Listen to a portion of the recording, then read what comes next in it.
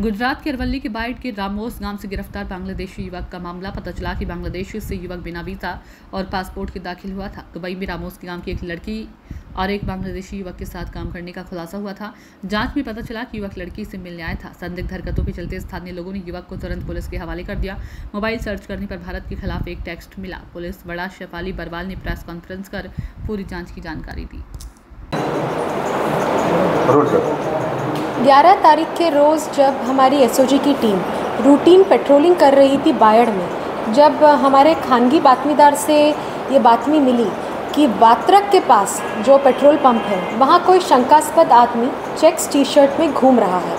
और ये बातमी मिलते ही एसओजी की team led by SOG PSI G R Chaudhary वहाँ पहुँचे और उस आदमी से जब पूछ परछ की गई। तो इन जो प्रिलिमिनरी जो प्राइमा फेसी हमें पता चला कि ये जो आदमी था जिसका नाम है बशीर अहमद अब्दुल ये रहने वाला है बांग्लादेश का। बांग्लादेश का नागरिक है एवं अ, सुल्ताना बानू कर कर एक जो रमोस गाँव की रहने वाली जो एक महिला है उसके टच में आकर उससे जान पहचान होने के कारण अ, वो यहाँ आया था और उसी के साथ उसके घर में रह रहा था।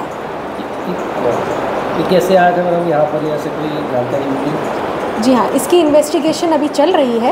पूरा जो रूट है वो बैक ट्रैक कर रहे हैं हम। अ, जो लैंड रूट है उसकी भी हम पा- पूछपरछ अ, जो अक्यूज़ है उसके साथ कर रहे हैं।